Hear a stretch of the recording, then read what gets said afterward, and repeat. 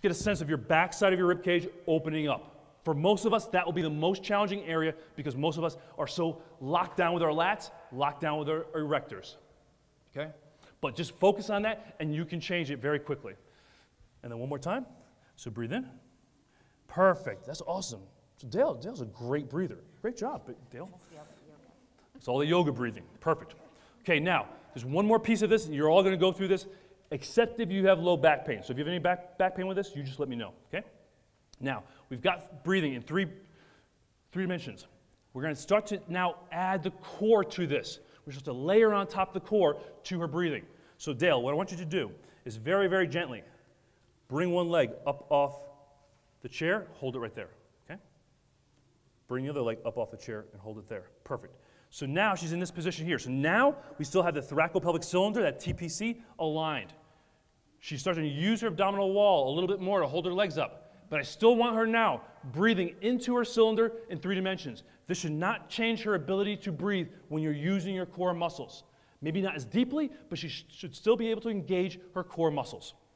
Okay, now breathe into my hands. So I'll make sure that, yes, she still goes that way, that way, and then front to back as well. Three breaths, just like that, Dale. Perfect. And I really want to make sure that she doesn't feel any low back pressure and she's able to get herself to breathe. And can you have a conversation with me? How's you, how are you doing, Dale? Good. You should be able to have a conversation if your legs are up. If your client's face is turning red or they're struggling like this, that's not stability. That's like hanging on for dear life. Don't do that. They should be able to be relaxed. Like if you notice Dale, she's very relaxed. She's able to have a conversation with me. There's no breath holding. She's still able to get that three-dimensional breath. That's what core stability is all about. She's not bracing, she's not squeezing, she's not tightening, she's just activating muscles and maintaining that three dimensional breath. Because if you think about Dale right here, and you can slowly relax back down, if we took her and put her in the upright position, what position is that would she be in right now? Seated, yep. It's also your squat position, yes? Seated or squat position. So what we're training her is to come up here and be able to do a, squ a squat and maintain that thoracopelvic cylinder alignment. Train her to do a deadlift and maintain that thoracopelvic cylinder alignment. Train her to do a, this, a lunge position and push or pull, or do some lunges from this position. So we're training her of what we need her to do when she gets to the upright position. Okay? Very cool. So now you're each going to go through this process.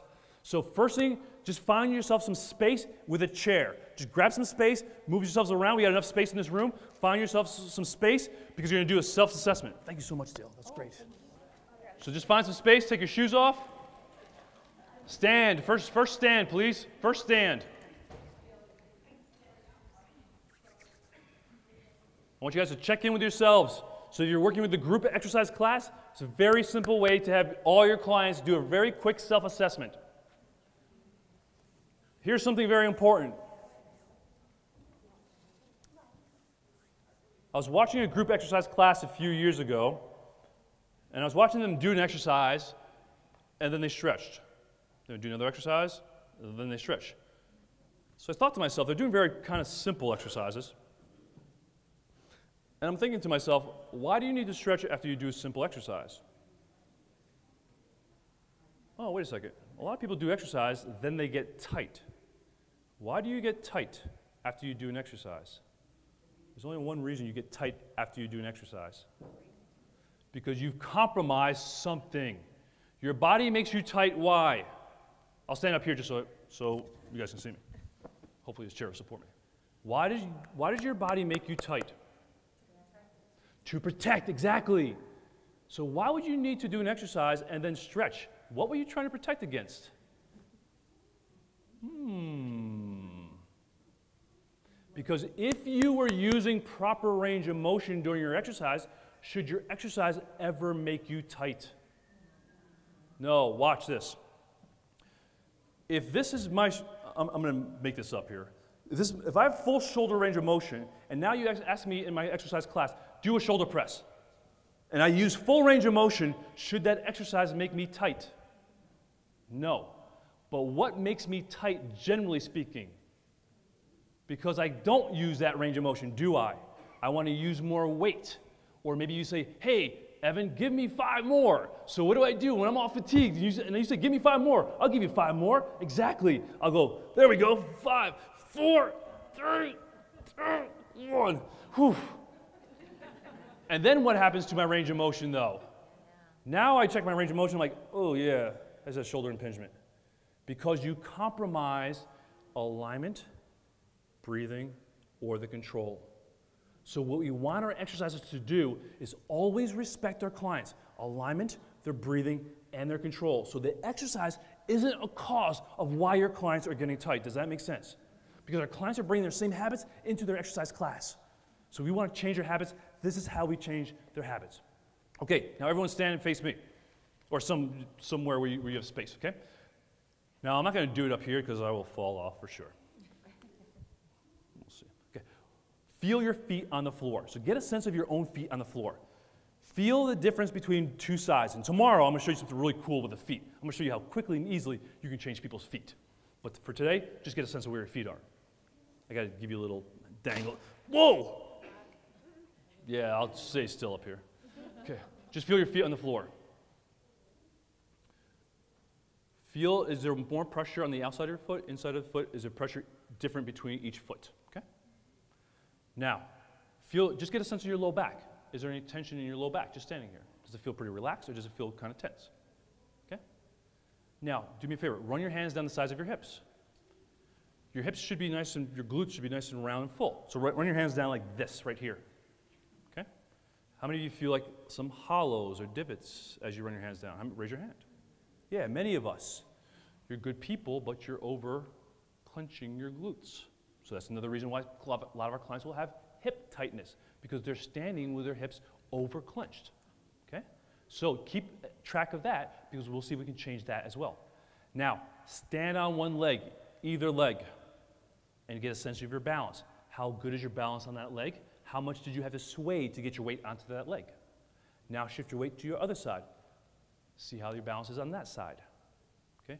Which was your better side? The first side or the second side? First side, because your brain's smart. It's like, oh, I'll go to my better side. and probably your foot is more stable on that side too. Your foot's better connected to the ground on the first side as well. Okay? Cool. Now, just spread your feet out now like you're going to do a squat. So do whatever kind of squat you want. Okay? Go as deep as you want or as shallow as you want. Just get a sense of your squat. Just do like five repetitions. Just see what it feels like. Does it feel very easy? When I say easy, just effortless. I know you can squat all day long. You guys can probably do hundreds of squats with weights and so forth. But get a sense of what that feels like. Is it easy? Do you feel any pressure in your knees, your low back, your hips? Or does it feel relatively easy? Okay? Cool. Because we're going to compare afterwards to what you just noticed here. Okay? Now, find a place where you can lie on the floor with your legs straight. Don't put them on the chair yet. Just lie on your, lie on your back with your legs straight don't put them on the chair yet.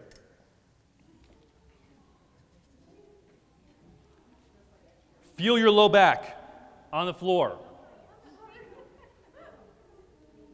Don't kick anybody. Don't kick anybody.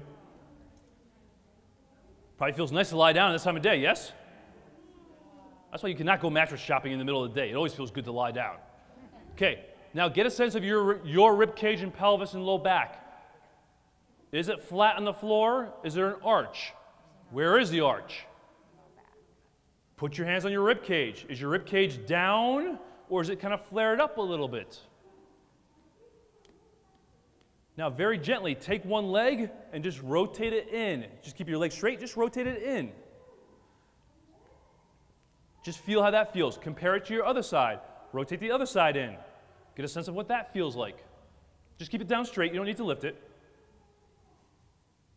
Is there a difference side to side? Okay? Probably have one side that maybe is a little more tight than the other side. Okay? Cool. Now, very gently, lift one leg up, just about three to five inches off the floor. Just keep it straight. Keep it straight. Raise it up. Put it back down. Same thing. Check to see how effortless that was. Put it back down. Lift the other side up. You're just really, really assessing how easy and how free your movement is and how much effort you need to use. Get a sense of what that feels like as well. Okay? So now you just did a really quick, easy self assessment. And now we're gonna, we're gonna change your breathing and then we'll go back to our self assessment. Okay? Now find your chair, put your legs on your chair. Some of you will probably need something underneath your head. So use your shoes, you can use a towel, you can use your yoga mat.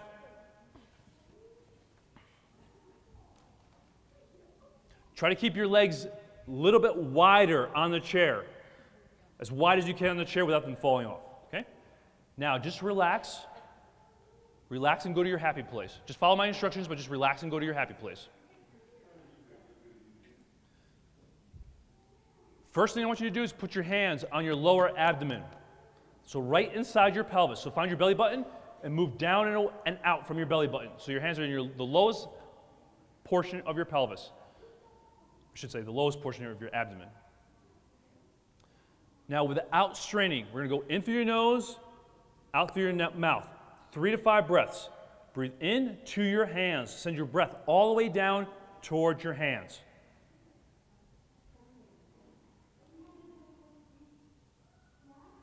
Three to five, nice and easy breaths, no straining. And when you're done with your three to five breaths, just relax and breathe normal. Go back to your normal breathing.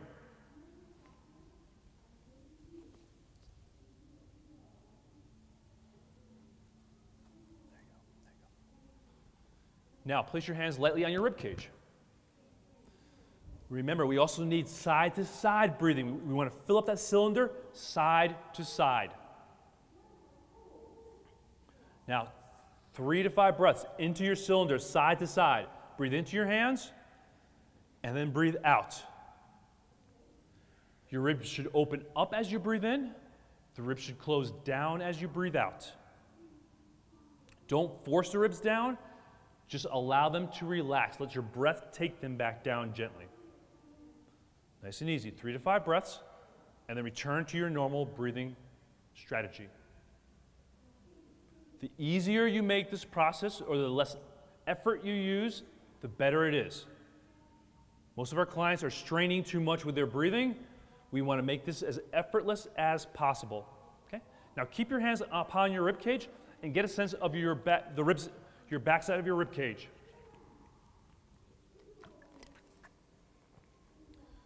Now send your breath into the backside of your rib cage. Feel as if it's opening up into the floor don't worry if it's perfect or not. Your brain is very powerful. It'll send the breath where you need it to. And then breathe out and let your rib cage just relax in the front as you breathe out.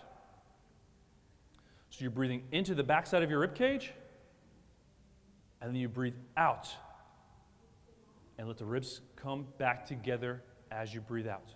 Breathe in and expand to the backside of your rib cage, and then breathe out and allow the ribs to come back down together. Three to five breaths and then go back to your normal breathing strategy. Okay? And just relax for a minute. Next, we're going to bring our legs one at a time up off the chair. Your legs, no, not yet, no, yet, no, yet. Your legs should be about shoulder width apart when you bring them up. Bring them up one at a time. There should be no pain, no pulling, no tightness in your back. And once you get them up, Keep your knees bent, keep your ankles dorsiflexed. So you should be at 90 90 position 90, 90 degrees of hip flexion, 90 degrees of knee flexion. Now, keep your hands on your rib cage, still send your breath. You can feel your abdominal wall engaged a little bit better now. Send your breath into your cylinder all the way around. So create that three dimensional breath now that your abs are a little bit more engaged because this is ultimately what you need to do when you get to the upright position. Remember, make it as effortless as possible. We want to improve the efficiency of how our clients are breathing and controlling their core. Now, slowly put one leg down, put your other leg back down. Perfect. We're going to do that one more time. So, whichever leg you lifted first, start with the opposite side now. Bring one leg up, bring the other leg up. Again, there should be no low back discomfort, no straining. You should still be able to create three dimensional breathing. Now, breathe into your cylinder, three to five breaths. And then breathe out. Should be nice and easy and controlled. Because remember, this is ultimately the position you're, you're, going to assume when you get back upright and we start you squatting, start you using those hips properly three to five breaths. If you feel tightness in your back, then you do not have the proper core control to be in this position. That's okay. You don't have to keep your legs up, just put your legs back down. And now slowly put one leg back down and put the other leg back down. Nice. Okay? Now give yourself some room, put your legs out straight again. Recheck your self assessment. So lie down on your back, legs out straight. Now feel where your spine is on the floor now. Does it feel different? Does it feel more flat, maybe more even? Do you feel less pressure in certain areas of your spine? Put your hands on your rib cage. Do the ribs feel more relaxed maybe? Maybe a little flatter than they were before. Check your range of motion with your hips. Turn one leg in, one hip in, turn the other hip in. Does that feel any different? Maybe more even? Does the tighter side feel a little looser now? Now, slowly come back to the upright position and stand there and take a self assessment of your feet on the floor. Feel your feet on the floor now. Remember which side had more pressure on it, or more pressure on the outside or inside of your, of your feet. Feel your feet on the floor. How's the pressure on your feet now compared to before? Feel the tension. Just get a sense of the tension in your back. How does your back feel now compared to as before? Does it feel any lighter, easier, just more, less effortless to stand there? Now stand on your leg again. Just see if there's any difference when you stand on your leg. Does it feel more stable? Do you feel lighter? Does it feel easier to stand on one leg versus the other side?